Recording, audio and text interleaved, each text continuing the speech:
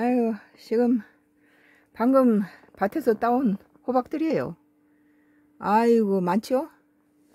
방금 밭에서 그냥 애호박을 한 번씩 하면 이렇게 많이 따와요. 아, 애호박들 이렇게 다 익어버리면 다음에 예, 다 예, 사료밖에 안 되니까 이렇게 애호박일 때 따놓으면 다음에 음식에도 나물도 해먹고 부침개도 해먹고 아, 초무침도 하고 아, 요리에 많이 된장찌개도 끓이고 매운탕도 끓이고 아 이거 어디 하나 둘셋넷 다섯 여섯 일곱 여덟 아홉 열 개 땄네요 오늘. 아, 산기도 가서 이렇게 많이 따왔어요. 무거워가지고 우리 남편이 들여다 줬네요. 너무 무거워서. 아이고 이렇게 많이 땄어요. 아이고 하나님의 축복입니다.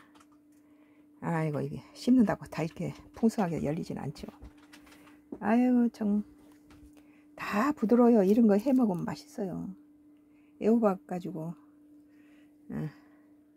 요새 호박값이 비싼데 이렇게 애호박이 이렇게 지금 이제 저장해놔요. 다 먹지 못한 건 잔잔한 것은 저장했다가 다음에 이제 애호박 없을 때 먹으려고 야채 박스에 다 저장해요. 아참 참맛 10개 세어보니까 10개 아, 10개나 땄어요.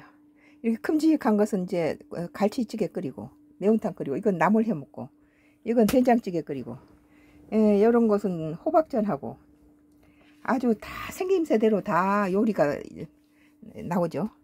우리 가족이 짜장면 먹고 싶다라니까 스파게티 면으로 한번 짜장면 만들어 볼 거예요. 아 맛있겠어요. 호박 넣고